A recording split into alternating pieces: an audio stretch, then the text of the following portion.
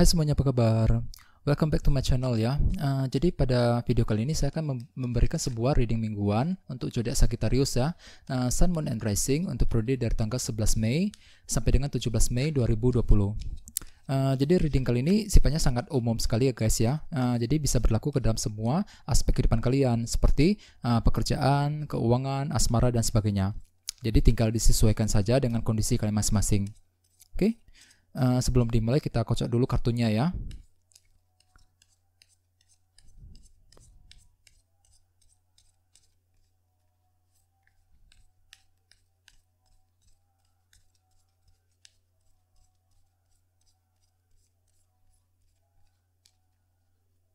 Oke.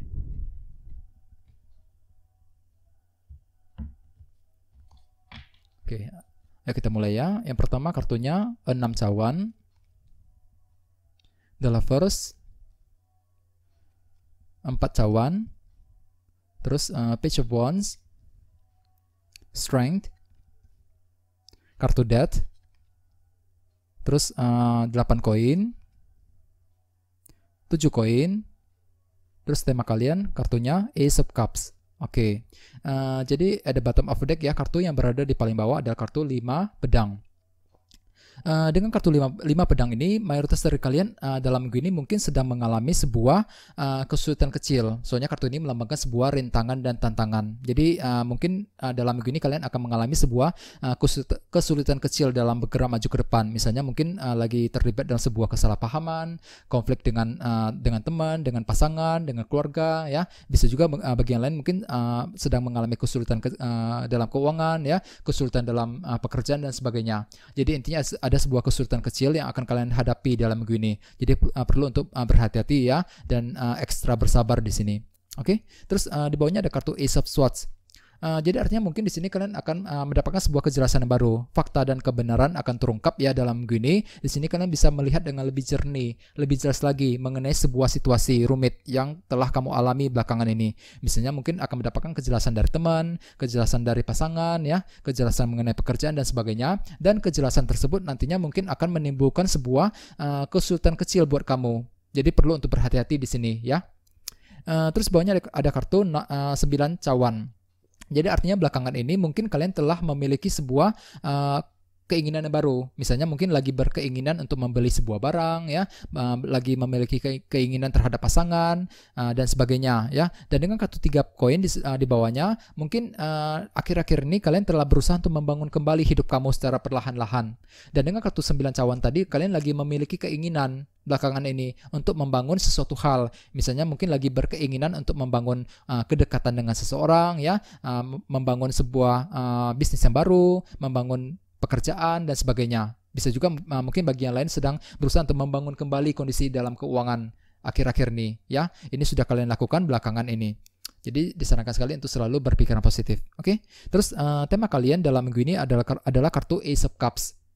Jadi artinya uh, mayoritas dari kalian dalam minggu ini mungkin uh, akan menjalani sebuah proses healing.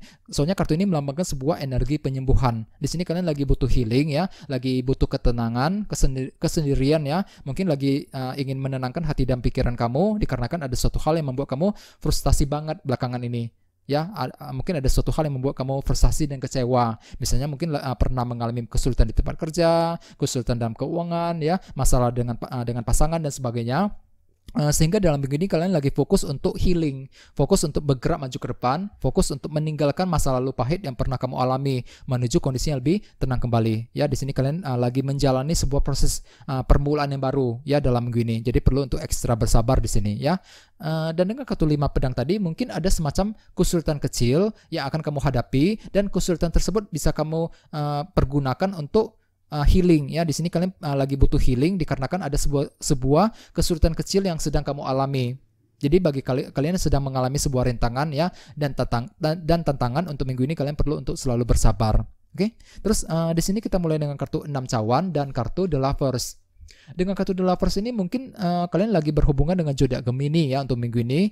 Uh, terus bagi yang lainnya mungkin di sini kalian siap untuk membuat keputusan yang baru dengan cara mensortir beberapa pilihan yang tersedia. Di sini kalian lagi uh, memilih-milih kira-kira mana pilihan tepat yang harus diambil, baik itu dalam pekerjaan, dalam asmara dan dan sebagainya. Uh, soalnya di, di sampingnya ada kartu 6 cawan. Di sini kalian lagi bernostalgia sedang memikirkan masa lalu, mungkin belum bisa move on dari sebuah uh, masalah sulit yang pernah kamu alami belakangan ini. Dan dan dengan kartu 6 cawan ini kalian uh, masih memikirkan uh, secara mener, uh, terus menerus ya uh, kondisi rumit yang pernah kamu alami. Sehingga dengan kartu The Lovers kalian siap untuk mengambil keputusan penting, lagi memilih-milih ya, lagi mempertimbangkan kira-kira pilihan apa yang harus diambil uh, dalam minggu ini, baik itu dalam pekerjaan, dalam asmara dan sebagainya ya. Dan dengan kartu uh, Ace of Cups uh, sebagai tema utama, mungkin di sini kalian lagi butuh healing, lagi butuh kesendirian, lagi butuh ketenangan dikarenakan terlalu banyak masalah yang pernah kamu alami uh, uh belakangan ini. Jadi uh, gunakan kesempatan untuk uh, melangkah maju ke depan ya. Uh, gunakan kesempatan untuk membuat keputusan baru dengan kartu The Lovers tadi. Oke, okay? terus uh, di bawahnya ada kartu Death. Beberapa dari kamu mungkin sedang berhubungan dengan zodiak Scorpio di sini. Terus bagian lainnya dengan kartu death ini mungkin ada sebuah perubahan yang akan terjadi dari sesuatu yang lama berakhir menuju sesuatu hal yang baru muncul. Misalnya mungkin mengalami perubahan dalam keuangan, perubahan di tempat kerja, ya, perubahan dalam hubungan asmara dan sebagainya. Mungkin ini ini sudah terjadi di minggu-minggu sebelumnya ya, bisa juga dalam minggu ini. Jadi perubahan tersebut uh, akan membuat kamu merasa uh, cukup rumit ya belakangan ini. Uh, dan dan dengan kartu strength uh, di sebelahnya di sini kalian perlu untuk menggunakan kesabaran. Tetap sabar ya uh, tetap kuat dalam hadapi masalah apa pun terutama yang berhubungan dengan perubahan yang sedang terjadi dalam minggu ini. Jadi perlu untuk bersabar ya. Dan dengan kartu Ace of Cups sebagai tema utama mungkin di sini kalian kalian kalian lagi butuh hilang juga ya. Lagi butuh ketenangan untuk menenangkan hati dan pikiran kalian dikarenakan faktor perubahan yang sedang terjadi uh, dalam minggu ini Oke, okay? terus uh, di sebelah sini kita punya kartu Page of Wands. Mungkin ada sebuah informasi baru juga yang akan kalian terima. Misalnya mungkin mendengarkan sebuah informasi dari teman, dari pasangan, ya, uh, da, uh, informasi mengenai pekerjaan dan sebagainya. Dan dengan kartu empat cawan di sebelahnya, mungkin di, informasi tersebut nantinya akan membuat kamu merasa tidak puas.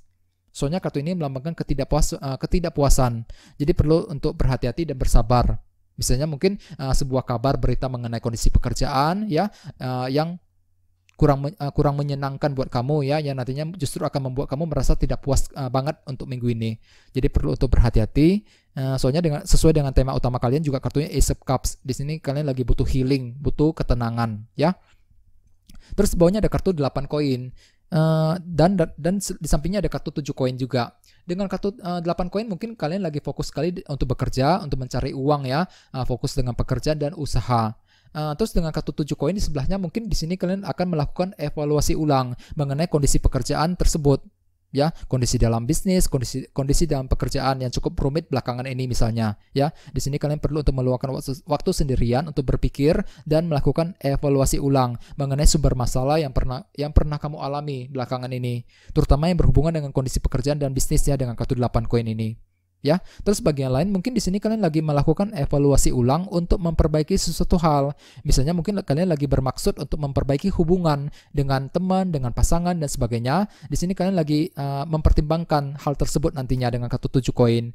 Uh, dengan kartu kartu 7 koin kalian lagi mempertimbangkan apakah ingin memperbaiki hubungan dengan seseorang apa enggak misalnya ya uh, dalam minggu ini. Jadi perlu untuk berhati-hati. Oke. Okay?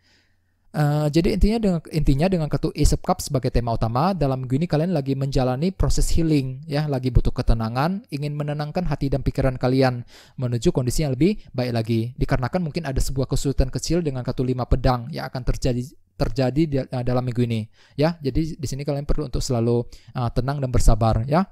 Uh, dengan kartu uh, The uh, silakan gunakan kesempatan untuk uh, move on ya. Di sini kalian mungkin lagi mempertimbangkan banyak hal, lagi mensortir kira-kira pilihan uh, seperti apa yang harus diambil nantinya. Uh, pilihan dalam pekerjaan, pilihan dalam uh, asmara dan sebagainya ya. Dengan kartu death mungkin ada ada sebuah perubahan yang akan yang akan terjadi uh, perubahan dalam uh, bisnis, dalam pekerjaan dan sebagainya. Di sini kalian perlu untuk selalu bersabar uh, dengan kartu strength ya. Gunakan kesabaran, tetap kuat ya. Uh, dengan kartu page of wands mungkin ada sebuah informasi yang akan yang akan kalian dengarkan ya. Mungkin informasi tersebut uh, justru akan membuat kamu merasa tidak puas banget dengan kartu empat cawan di sebelahnya. Ya, uh, terus dengan kartu tujuh koin, uh, sepertinya kalian lagi akan melakukan evaluasi ulang mengenai sumber masalah yang pernah kamu alami. Soalnya soalnya dengan kartu 8 koin kalian lagi bermaksud untuk memperbaiki uh, sesuatu hal dalam minggu ini ya. Jadi perlu untuk selalu bersabar dan tetap berpikiran positif ya untuk minggu ini. Oke. Okay? Uh, kayaknya segitu aja ya. Terima kasih sudah menonton video ini. Uh, jika kalian suka dengan video ini silahkan subscribe, like, share, komentar ya. Dan dan kita ketemu lagi di video berikutnya. Terima kasih.